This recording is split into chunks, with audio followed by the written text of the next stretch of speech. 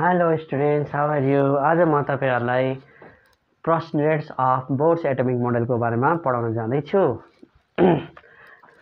Do know what is the postulates of Bohr's atomic model this postulates give the you know idea about the structure of atom एटमको स्ट्रक्चरको बारेमा के दिन्छ त यसले? Idea दिन्छ। This postulates was given by the Niels Bohr in nineteen thirteen AD according to this postulates an atom consist central positively charge nucleus central positively charge nucleus in which electrons are revolve in circular motion electrons are revolve in circular motion with definite velocity an atom consist positive charge nucleus in which electrons revolve in circular orbit with definite velocity अब इसको second प्रश्न के भाषा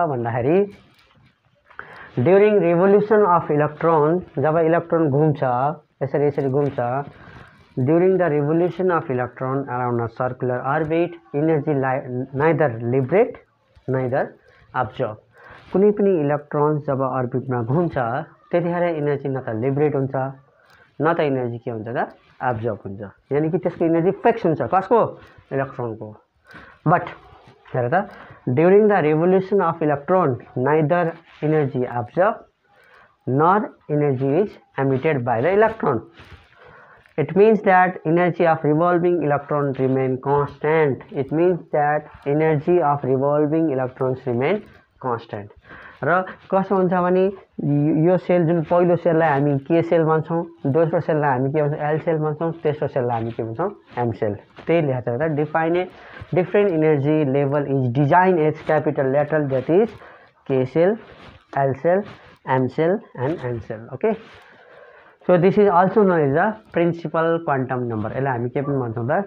principal quantum number पनि भन्छौँ। अब यसको third प्रस्टुलेसमा के हुन्छ भने सेकेन्डमा के भन्यो?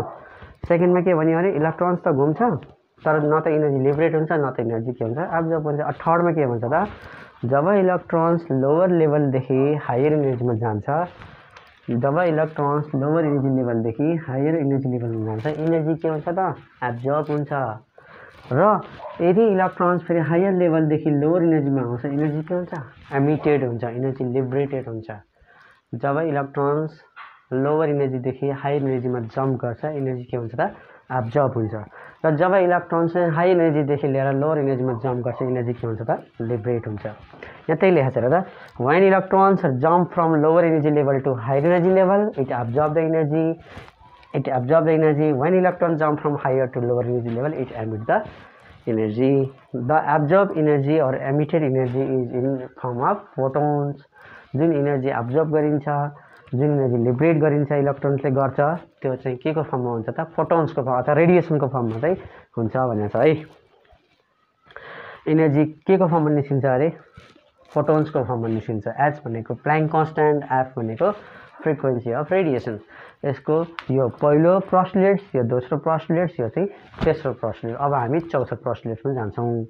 प्रस्टुलेट्स के हुन्छ भने कुनै पनि electrons revolving around the nucleus हुँदाखेरि कुनै पनि इलेक्ट्रोनको जब न्युक्लियसको वरिपरि घुम्छ उसको angular momentum you know what is momentum momentum भनेको मास इन्टु भ्यालोसिटीलाई मोमेन्टम भन्छ। एङ्गुलर मोमेन्टम भन्यो भने त्यसमा रेडियस पनि आउँछ फेरि। अथवा मैले यसलाई एमबिआर लेखे पनि हुन्छ। है angular momentum must be equal to N H by two pi so है angular momentum is must be equal to N H by two pi momentum भनेको मास इन्टु भेलोसिटी र एङ्गुलर मोमेन्टम भन्यो भने त्यसमा रेडियसको पनि के गर्नुपर्छ त? मल्टिप्लाई गर्नुपर्छ।